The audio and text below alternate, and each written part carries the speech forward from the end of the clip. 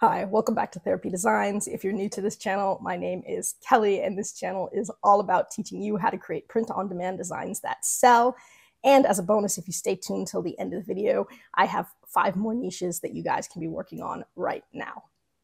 So in today's video, I'm going to show you guys how you can create this design right here. But more importantly, I'm going to teach you guys how you can create custom face well, this is a blanket, but you can do this for any product. So if you want to offer custom photo um, products to your Etsy shop, for example, this would be one where a person could buy a blanket, send you a photo of their dog, and you could go ahead and have their dog patterned on the blanket. Now, of course, you can do this for dogs, you can do this for cats, you can do this with kids' faces. It doesn't have to be faces. You could do this with just about anything that you want. I've seen these with kids' drawings where they can send you a picture of their kids' drawing and you can pattern it and put it on different products. And so I'm going to show you this blanket here, but there is a lot of options for you guys in terms of how you can sell personalized photo products um, on your Etsy shop. So we're going to go ahead and just show you this blanket here. So now to start with, I'm just going to go ahead and go to a, well, I guess I can use this anyways, but um, I'm going to go to Canva Home here, and we're going to start off with custom size.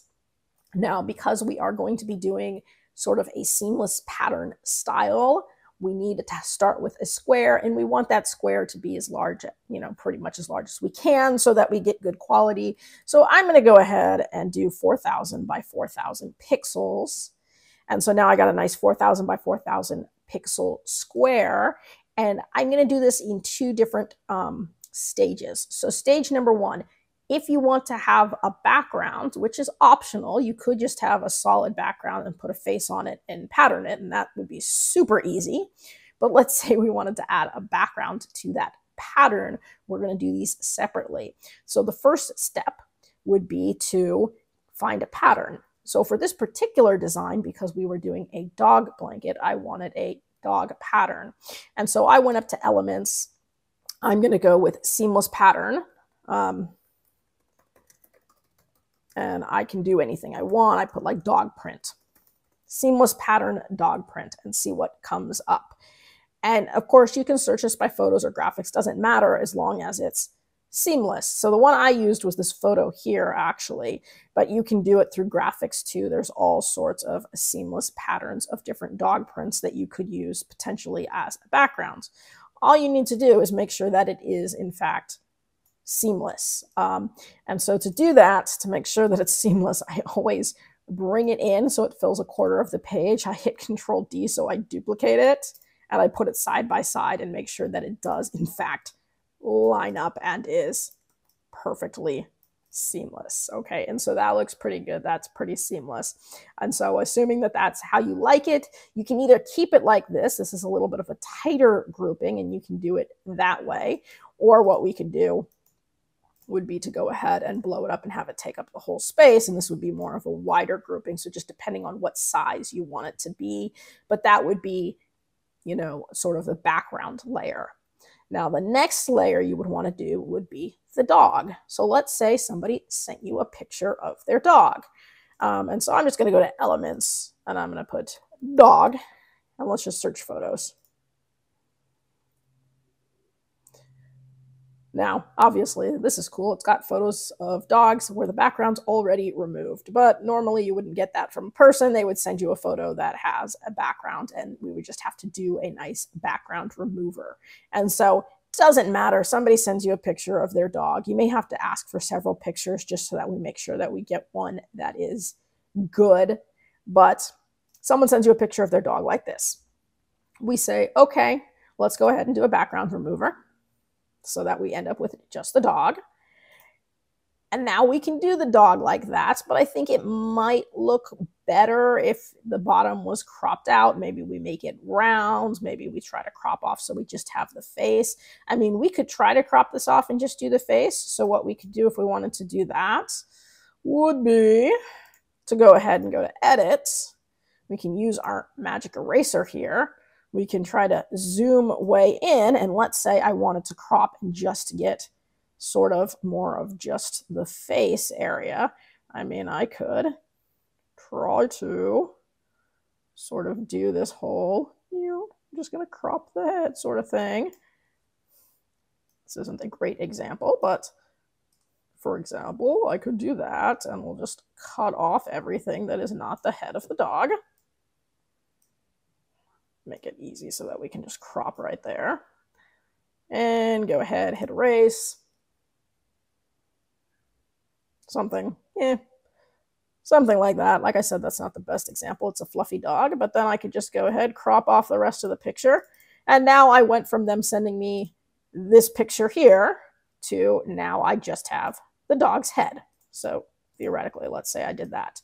And I would put the dog's head right smack in the middle of the square, and that's what I would be sort of patterning. And the dog's head on the blanket would look like this, where you've got the dog's head over the blanket. And I mean, that's essentially how you would do it. Now, you wouldn't want to do these together like this because the pattern that you're going to use is going to be different for the head and different for the background. So because we have a seamless pattern here, when you pattern it, it has to be a straight normal grid. So it has to be, you know, right next to the other. It can't be offset. But with the face, we can do an offset grid where it's not just looking like it's a bunch of squares, but we have them kind of offset, and that's going to look better.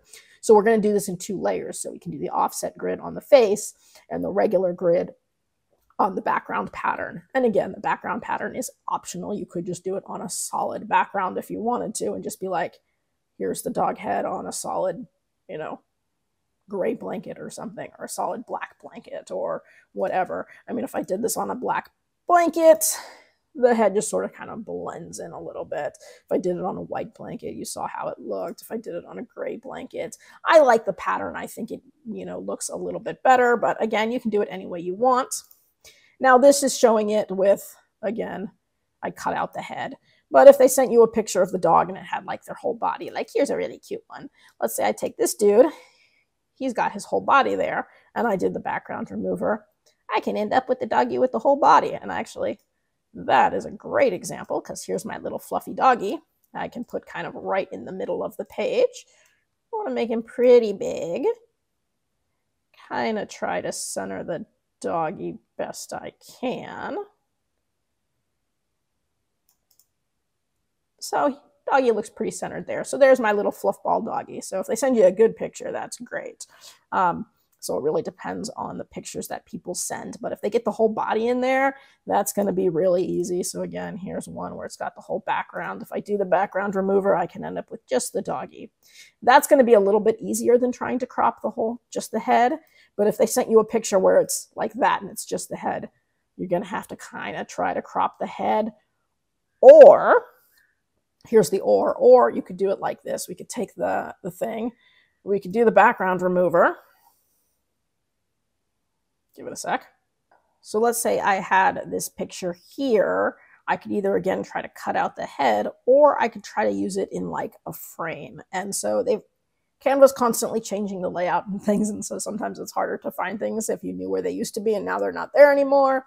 But if you just go to your elements and now you scroll all the way down to the bottom, what we're going to find is the frames here in this section and you can go see all and you can go ahead and search through their frame area. Now for this, I just want basic shapes and what we could do would just be something like a basic circle frame or, or something like that. I mean, you could do any kind of weird shape that you wanted.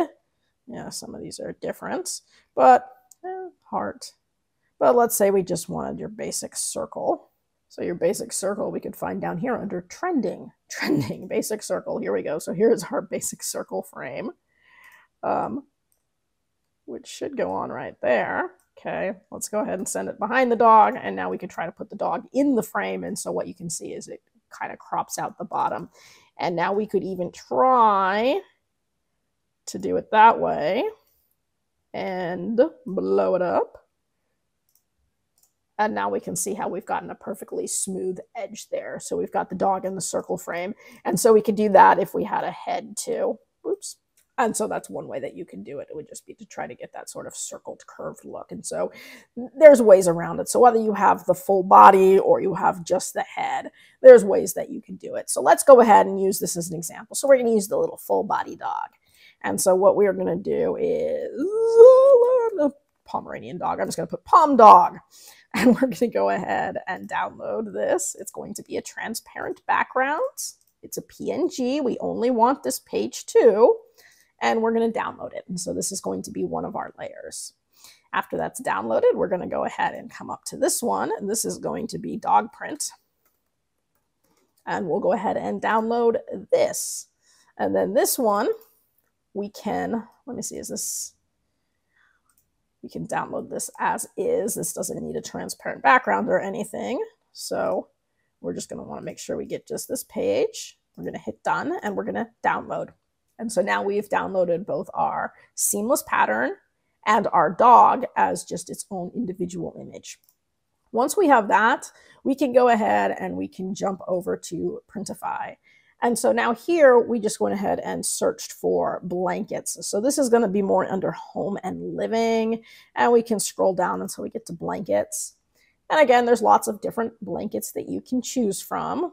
Um, we have this bestseller one here, which is this nice all over print blanket, right? Only $12.91 plus shipping and there's three different sizes. And of course we can do this on all three sizes. That's the cool thing about doing a patterned design is you can do it on all of the sizes. So we can hit start designing. And we can select the variants here. So we can go ahead and select every variant okay and go back and now what we're going to do is start with our background, which is going to be our, our kind of patterned. So you go over to your uploads, go to my device, and we're going to start with the sort of dog pattern or dog print. Now what you're going to see is that it's going to put it all the way across, and then it's going to tell you that the resolution's pretty bad. It's at 64 DPI, and obviously we want it to be better than that. But what we're going to do is actually pattern it. And now to create a pattern, I can come up here where it says pattern, or I can scroll down here and put create pattern. Either way, it's going to give you choices of the different patterns. And so right now it's on regular grid. And that's what you need for a seamless background because it means I can shrink it way down like that and it's going to actually look right. If I did it as sort of any of these offset grids, it's not going to look right. So we're going to lose the seamless pattern. That's why we have to keep this seamless pattern on a regular grid. And then all we do is, you know, blow it up or shrink it down to whatever we want. And so we can go ahead and pick, you know, the resolution we want. So if you wanted it to be 300 DPI, you just shrink it down more until it's at your 300. And so the smaller I shrink it down, oops, the higher the DPI is going to go, right? So I just keep shrinking, shrinking, shrinking, shrinking. There we go, 308 DPI. So this is going to print in really good quality here. So that is it. That's easy. So now what we're going to do is we're just going to put another layer on here. So to do that, we're going to go to our uploads. We're going to go to my device, and now we're going to upload the picture of the dog. So I'm going to go with Pom Dog. That's what I saved it as. Okay, there we go. And again, it's going to put the dog smack in the middle. You're going to notice that the dog's going to be pretty low quality. We're going to shrink that dog way down until, you know, it's at a, you know, good quality. So I can shrink it pretty small. Oops. A little hard to grab hold of doggy there.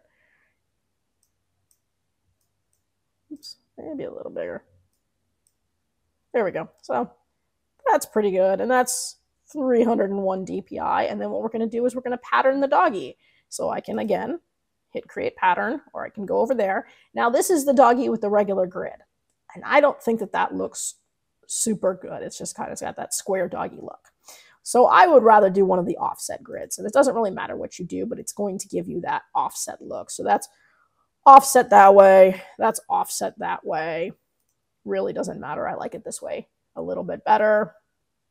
But it's offset. And so that is why we had to do this in two different um, sections. So our kind of background grid is the regular grid and our doggy grid is the offset grid and we have two layers. So we've got the doggies now sitting on top of, you know, the backgrounds.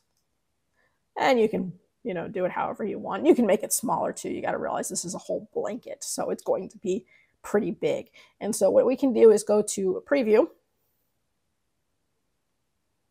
and you can see how the blanket is going to look. And then you can pick the three sizes. So on the itty bitty little size, it'll show it compared to a bed, right? So let's do the context view. So here it would be on a regular little twin size bed. So that's just a small little blanket there. But if we did the big full 60 by 80 inch blanket, now we do the context view, we can see it covers the entire bed.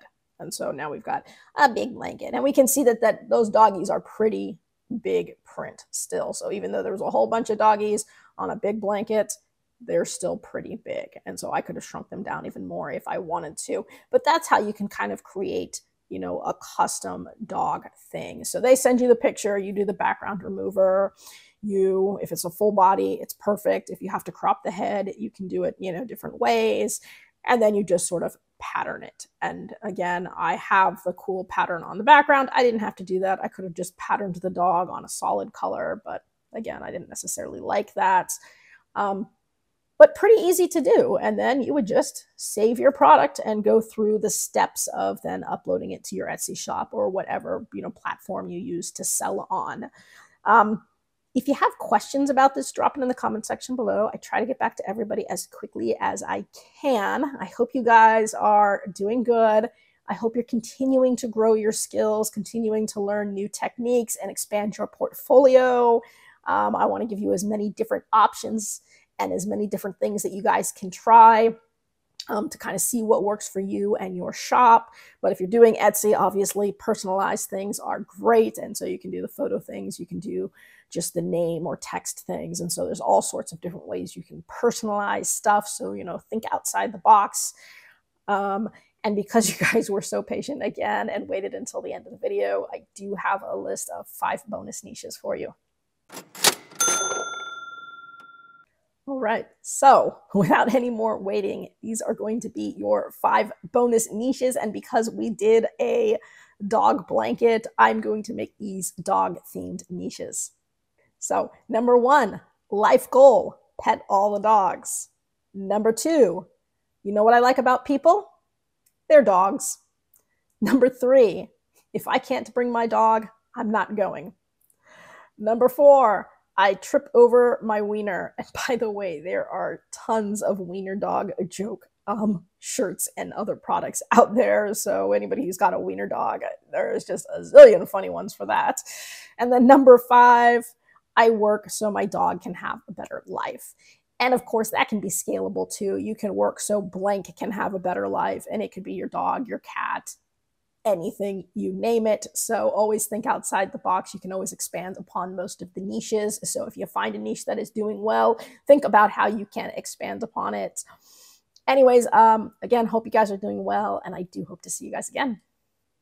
That's it for today's video. If you found that useful and would like to see more videos with helpful tips and tricks, be sure to hit like and subscribe and turn on your notifications so you don't miss any of the weekly videos. As always, keep growing and stay creative, and we'll see you next time.